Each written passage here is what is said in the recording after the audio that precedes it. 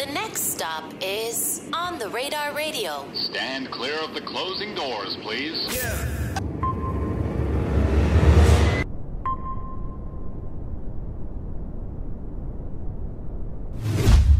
Yes, sir, baby. On the radar radio. Yo, special guest in the building. Man, this one is uh three years in the making, the one, the only worldwide. ASAP 12 in the building. My brother God. Gabe. It's hard to track you down nowadays. I ain't gonna lie, because you was in Japan. Yes, I was. Was that on was that tour? or That was just Uh, that was kind of like for leisure. Okay. You know, the past couple months, I spent about a good month in Asia. I had two weeks in um September, two weeks in Japan, and then I did like a week and a half in China. Went to Taiwan. Also, when I was in uh, Japan, I went to like South Korea. Mm. So then I came back. You know, went to Germany, went to a few different places. Then I came back for a little while. Then went back to uh, Japan. oh, so you really been on your world traveler tip lately. Worldwide, bro. You know. You know what's interesting because like when I speak to a lot of artists, um, whether they're from New York or in, in a lot of respects like the UK too, because I feel like they also on that type of time where it's like they were really like when th- their come up was during like the you know the 2010s, like the mid to late 2010s, right? And then now that we in 2023, 2024, a lot of what I noticed that you know you're doing or like someone from the UK like AJ Tracey is doing or Dino, like a lot of y'all are in this space now where it's like I'm gonna go live my life. Like I'm gonna do the music too, but mm-hmm. like you're actually going out and enjoying life now, and you know, and actually just having fun with this shit. Yeah, because they didn't teach us how to enjoy ourselves with music or, you know, live your life. You know what I'm saying? Like, they just be like, yo, get on stage, song and dance, yo, do this, that, and the third. So then when you really see the world and you really get to experience different cultures, different food, different like fashion, different like knowledge, culture, wisdom, Yeah. you just want to keep doing it, you know? Like I went to Japan twice last year. You know, some people never been to Japan like once in their life, you feel me? So I don't only just do it for me, I do it to inspire everybody else. Like, Yeah. yo, let's get up, let's get out, let's use your passport. It's it's hard as hell to get a passport. It's easier to catch a case than get a passport, bro. Mm. And then once you catch a case, you can't get your passport. You know? Right, yeah, You yeah. feel me? So yo, go get your passport, go live your life, man. If you pull up to anywhere in the world, tell them 12 you sent you. You feel me? That's a fact. You know, it's funny because you said that like they didn't teach you to do this, right? And I teach you. feel like when you're an artist and you have so much eyes on you, and especially if you're part of such an influential time in in the in music, like you know, like with the crews in the early 2010s to mid 2010s, with like Pro Era, Beast Coast, Mm-hmm. ASAP Mob, like there's so many eyes on you, and there's so many things happening within, like happening so fast that one, you don't get to like live that part of your life, but then also you know they're just telling you to go here go here perform here do music here you also don't get to learn and i know you spoke about it like here and there but like learn about the business side of things and how to like make sure that that shit is also situated um as you come up too but then like you know eventually like you you learn about that stuff and i know you said that you've learned about it but like you learn about it through like a lot of trials and errors because they didn't teach you that off the rip Yeah. too I had to learn by failing. And and with those failures, you, you learn to enjoy the experience mm. and then you're eager to learn. Like I had to read books like everything you need to know about the music industry, rhythm and black business. I had to be signed to Sony and drop an album and see things slow up to be like, okay, this is not for me. I had to learn so many dimensions of the mm. music industry before I could even enjoy myself because I was so young with my brothers, you know, touring the world, doing what we was doing, but we wasn't really like taking the time to learn. You know what I'm saying? Right. And that shit could it could bite you in your ass. You know what I'm saying? You feel me? Like you could be on a major for six, seven years and only drop one album, and then you owe them like six or seven albums. You feel Yeah. me? So it's like for a young kid, like who's gonna teach them that? You know what I'm saying? Mm. You just so hyped that you got this opportunity that you don't care about nothing else. Mm. But then when everything stops and the pandemic starts and you notice like, damn, like shit not really right. You so used to living on the road that your regular life is not right. You know, your body not right, your mental not right. You feel me? So music is like it's a double edged sword. Like I love it to death, but it just took so much from me. You know what I'm saying? Like my family getting older, my parents, my mm. little cousins, this, that, and the third, missing things. You know what I'm saying? Yeah. So I had to really take a step back and be like, nah, I want to enjoy my life. I want to, I want to go to my my Thanksgiving, my Christmas. I want to, I want to be able to go to Kingdom. You know, I want to go to Millbank. You know, I want to go to City Island. You feel me? And not be worried about looking, you know, over my back. You feel me? Nah, talk about going to City Island, and that's that's. I felt. I felt You feel me? You want to go to City Island in the summertime? Absolutely. Like we got a couple dollars. We want to go to City Island. We want to have fun. We want to go to Fordham Road. We want to do everything. You know what I'm saying? We want to go to LA. We want to go to London. We want to go to Atlanta. You know what I'm saying? But then once you're a hip hop musician or superstar, you kind of get pretentious and like, yo, I'm too good to do this and that and the third. You feel me? But it's, it shouldn't be like that. Was there a moment that because that's kind of like an ego check? You Mm-hmm. feel me? It's like, oh, I gotta check myself for what I'm. Was what was like the ego check moment for you when you had to like check your ego and be like, oh shit, like I gotta stop acting like this. For If there was a moment for you, Um, to be honest, bro, I never really had like a big ego, you know, because I'm running around ASAP Mob. I'm running around with Flacko. I'm running around with Yeah, Fur, yeah, yeah. Nas, Addy, like Tawa, everybody, like you know. So I'm the one. I didn't have an ego. You know what I'm saying? Like I'm. Mm. Sh- we all from the streets, but like I'm, I'm from the projects. You know what I'm saying? I grew up in the projects. There's no room for error or ego in the projects. You know, an ego could get you killed, and an error could get you killed. So those two E's I kind of stayed away from and just brought more execution into my life. You mm. dig?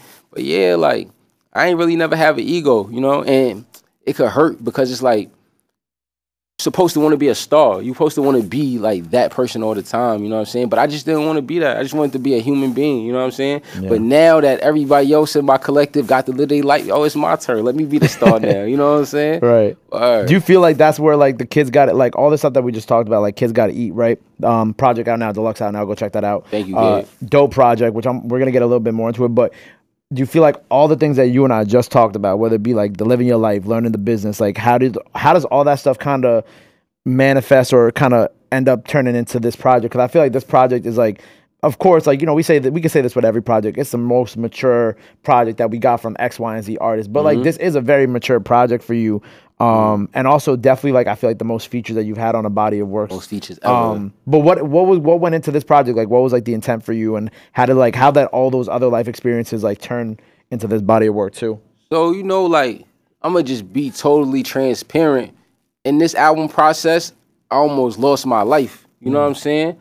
So do some other shit, but another situation I almost lost my life was like COVID. Like COVID made me real sick. You feel me? So from there, the day I caught COVID, I was like in the studio, but the last song I recorded was "Kids Gotta Eat." Yeah. So once I recovered from COVID, I listened to Kids Gotta Eat, and I was like, yo, damn, I never sound like this before. I never felt like this before. I never been this type of artist. You know what I'm saying? Something is totally different about Right. me.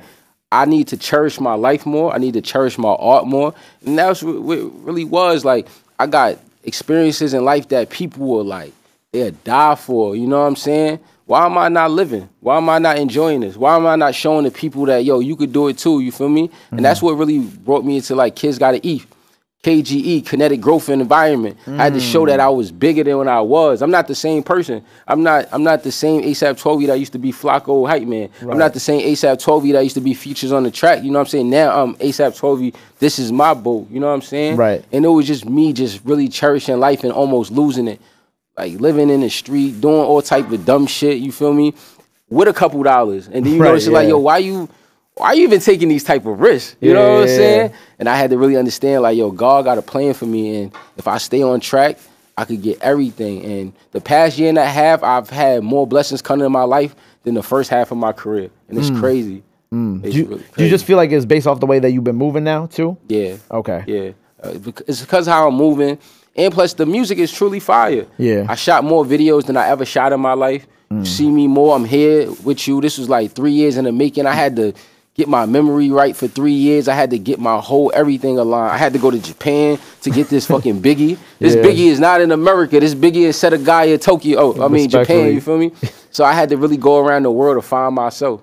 Mm. And then I found myself. Now you find me right here in this seat, the driver's seat. That's fire, bro. You know, with the project, like I said, there's like a lot of features on here. I'm, I'm not gonna run down everybody, but a few notable ones. I like the rock, the rock one. Yes. Uh, Jay Worthy, Yes. SG Batman, which SG Batman is super, SG Batman is super random feature on the project off the rip. I'm not gonna lie.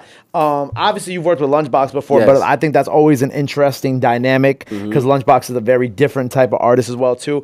Annalise Azadian, definitely one of like the most underrated singers in the city. I love her. Uh, Rome Streets, and then of course you know we got we got ASAP Mob on that shit too, and then we got Quanny on there. You got you know what Quanny, super Quanny. dope, man. That's a fact. And your man though, uh, Hood Fly Mike. Hood Fly Mike is Hood also Fly on there. Mike, yeah, you feel yeah. me? Yeah, word to Hood Fly. eh, Everybody, you know, if people don't know the step in, step out, don't get stepped on, that came from Hood Fly Mike. Shout out Hood. Fly Mike. I ain't even know that. You feel me? But I know Yeah. Hood Fly Mike. That's a that's a fly young dude. He really get to it. He, he like the epitome of kids got to eat. You feel me? Mm. Youngin doing his thug dizzle, getting to it. The world know his name. Same thing with Lunchbox. Yeah. You know, Annalise, Zakari, Zayna Mates. You know what I'm saying? Everybody. You feel me? But I never had this many features on my project before, and I was kind of feeling like if I kept trying to do this for Dolo, Yeah. nobody was gonna show me love. So I had to reach out to other people that I also like. You know what I'm saying? Like I, I really like SG Batman music. Like I remember being in Flacko crib, Flacko listening to Lucky. I'm like, nah, listen to SG Batman. Then he look, he like, damn, this kid hard. I'm like, yo, bro, like he's he's different. Nice, yeah. You know? And how many people could bear the artist name of Batman? You know what I'm saying? so you know that's one of my favorites. Lunchbox, like Lunchbox is one of my favorites. He used to come to the crib in Brooklyn and not even work on music, just be there. Like we playing 2K or we just Word. just building. You know what I'm saying? We watching YouTube videos. We watching what's the joint where people um they tied to the joint smacking the shit out of each other. We watching shit like Oh, like the that. side boxing matches? Yeah, Yeah, we yeah. watching that. You know what I'm saying? We watching Dude Perfect. Dude Perfect is one of my favorite shows. I love Dude? Perfect. Yeah, yeah, yeah. I, love, I feel love like Dude Perfect, love on the radar Perfect. would be a crazy collab. I don't know what the fuck we do with that though. I'm gonna let you think about it and you tell me and then and then we'll do we'll So, figure it out. On the radar, you know how they be having the Nerf guns. yeah. You got to freestyle while shooting the, on the radar target. Who gonna do that? You you you gonna do that? I, I do it, but it's a couple cats I'm not even gonna name. You know what I'm saying? You know, I'm gonna, I'm gonna let you handle that. okay, you know okay, what I'm okay. gonna let you Respectfully, respectfully, respectfully. But yeah, shit fire. It's fire. Yeah, really man. like I love like the Quanny song too. I feel like that was definitely one of the ones that was like my least expected from you Mm. because it was just like I feel like Quanny. Obviously, well, Quanny is like fe- definitely like the newest out of most of the artists on the project Mm-hmm. that I could think of, and he's also like being from Philly and also his his style like the Philly drill, Mm-hmm. um, Detroit shit is like definitely different than what I would expect from ASAP 12 to really be Yeah, jacking. You know what I'm saying? but it's like I'm one of the most eclectic artists in the world. I could do some blood money rap shit, strapped. I could do that, but then I could do hella hoes. Right. You know, then we could do feel so good, coziest. Yeah. You know what I'm saying? Like then I could be in a Snow Aalegra video, or I could do a song with uh, Sam Silver. You know what I'm saying? That's kind of like a like a house house joint. You know what I'm Yeah. saying? So the thing with Kwani was like. I'm in South Korea and I'm walking around South Korea and I walk into a temple. So as I walk into the temple, it's a statue, bro, that's huge. And I'm looking at the statue and it's kind of like I'm meditating. And in the back, like if you listen to um 10 quarters, it's like this chant. uh, yeah. I hear the chant in the back. So I go into this little temple and they praying. So I was like, hold on, let me let me back up. I'm like, hold on, let me let me figure out how to like take this with me. So I turned my audio message on. And I took the sound. So then we came back. My producer Ran Van Dan, he working on a beat. Boom, he working on the beat. So I said, yo, add this sound. He added the sound. I started working on the song. He like, yo, bro, I ain't going cat, bro. Quanny sound crazy on this record. You feel me? So I'm like, I don't know Quanny like personally. You know what I'm saying? Mm-hmm. Like I got love for Philly. Shout out to Core. Shout out to Meek. Shout out to Uzi. Shout out to everybody. But I don't, I don't know Quanny. You know what I'm that, saying? yeah. So one thing led to another. Bro got in touch with his management. I was in the studio with Quanny the next day. Word. You feel me? Quanny showed mad love. You feel me? Like, and he about his business. I could say that like that's the first person I ever had to do like business with a feature with, and it was cool. It was respectable. You know what I'm saying? He don't know me. I don't know him. And then it was just all love. He killed this shit, and he was solid, sturdy, as Philly cats say. Word, Sturdy. man. Well, what's next for you? What's after this? What's after this? KGE World Tour. You know, I've been traveling a lot, Mm-hmm. but like a world tour as far as shows. I have a Sony Music Hall headlining show, April 25th. You gotta come. You I'm know what I'm saying? I'm there. Come through. Uh, Rome Streets, and we looking for somebody else too. But so far, me and Rome Streets is gonna body that. I know it's gonna sell out. This is like my biggest headlining show ever, and I can't wait, bro. Word. Well, I'm con- congrats on everything, bro. Yeah, thank you, Uh. April 25th. Get your tickets now. That's a fact. Um, headline and show. Uh, did you announce where the rest of the dates are too, or not? Um, Coming soon. coming soon. You Coming feel soon, me? Like let's manifest it more. And sometimes when Real you quick. You know, when you Yeah. tell too many people your blessings, they wanna they wanna retract your blessings. But I know Gabe is a great dude, so I could tell Gabe whatever. You feel me? And dog. I appreciate you, and I can't wait to see you on your world tour. I want you to go to Australia. I want you to go to That's Tokyo. so crazy that he just said that because I have a meeting tomorrow for OTR Australia too. Yo, That's crazy, bro. Like Australia is one of the best places ever. You feel me? Like it's paradise to me. You know what I'm saying? Mm. Especially like around this time, it's crazy. I manifest that we always spend our New Year's in Australia. There you go, man. Real quick, Calvin, come on, fast. Oh, Fast, Calvin, my wrap bro. up. Come on. This is my bro right here. Oh boy, appreciate you, twelve eight. Uh, hello, everybody. Welcome back to another episode of Cal's Questions. Um, my question for you today, twelve eight, is you know all your times in the game, man. Like the cozy tapes were such a crazy time. yes. Uh, what was your favorite experience from recording all the cozy tapes and you know those that era? Um, I can't even single out one moment because every moment with those guys and it's still going on. Like you feel me? But I could say